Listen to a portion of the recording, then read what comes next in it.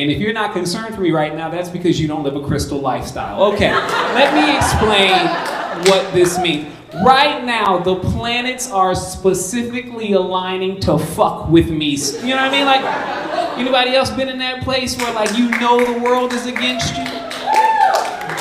I know this is true because recently my girlfriend of five years broke up with me over text message. Don't all that shit. We're adults. I'll get over it. Uh, also, I keep getting cut off in traffic by tiny Asian women in Tahoes. Why does that keep happening? It's just nothing but knuckles driving and can't see shit. And, and since this pandemic ended, I have not once, not twice, I have four times walked into a Walmart bathroom and seen a butt naked homeless man eating a rotisserie chicken. This has happened four fucking times.